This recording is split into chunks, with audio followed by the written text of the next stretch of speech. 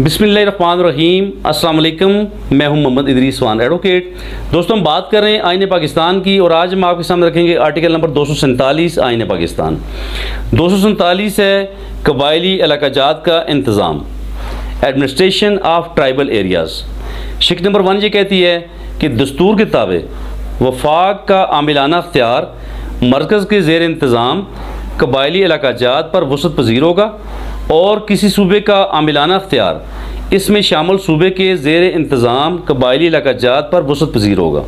और शिक number two में कहा गया है कि सदर पाकिस्तान वक्ता फ़वक्ता किसी सूबे में शामिल इलाकाजात या इनके किसी ऐसा से मुतलक इस सूबे के गवर्नर को ऐसी हदायत दे सकेगा जो वो ज़रूरी ख्याल करे। और गवर्नर इस आर्टिकल के तहत अपने कार मनसबी की अंजामदेही में मजकूरा अदयात की तमील करेगा।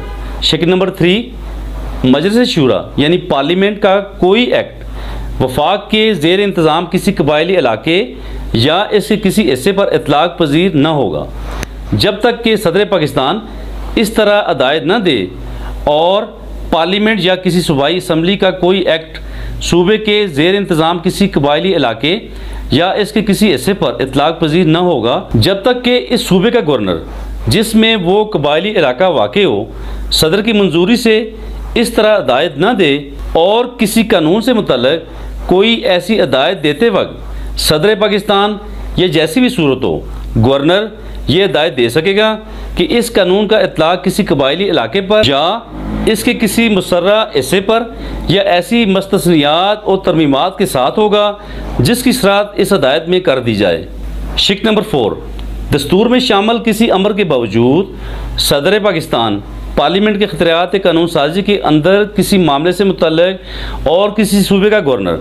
सदर की माकबल मंजूरी से सूबाई इसम्बली के अख्तियात कानून साजी के अंदर किसी मामले से मुतल सूबे के जेर इंतज़ाम किसी कबायली इलाके या इसके किसी ऐसे हिस्से के लिए, जो इस सूबे में वाक़ हो अमन मान और बेहतर नज़म नस्क के लिए जवाबत वजह कर सकेगा। शिक नंबर फाइव। दस्तूर में शामिल किसी अमर के बावजूद सदर पाकिस्तान किसी मामले से मुतल वफा के जेर इंतज़ाम किसी कबायली इलाका या इसके किसी ऐसा के अमन मान और बेहतर नज़म नस्क के लिए जवाबत वजह कर सकेगा। शिक नंबर सिक्स, सदर किसी वक्त भी फरमान के ज़रिए हदायत दे सकेगा कि किसी कबायली इलाके का तमाम या कोई हिस्सा कबायली इलाका नहीं रहेगा।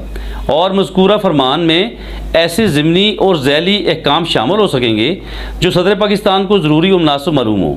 मगर शर्त यह है कि इस शिक के तहत कोई फरमान सादर करने से पहले सदर पाकिस्तान इस तरीके से जो वो मुनासब समझे, मुतलका इलाके के अवाम की राय जिस तरह के कबायली जरगे में ज़ाहिर की जाए, मालूम करेगा। और दोस्तों, शिक नंबर सेवन में ये कहा गया है कि कबायली इलाके से मुतल दस्तूर के तहत ना अदालत उज़मा और ना कोई अदालत आलिया अपना अख्तियार समात इस्तेमाल करेगी। तावक दे के पार्लियामेंट, बजरिया कानून, बसूरत दीगर हुक्म न दे।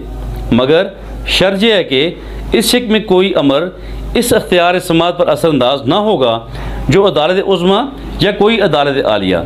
किसी कबायली इलाका से मुतल योम आगाज़ से एन कबल इस्तेमाल करती थी।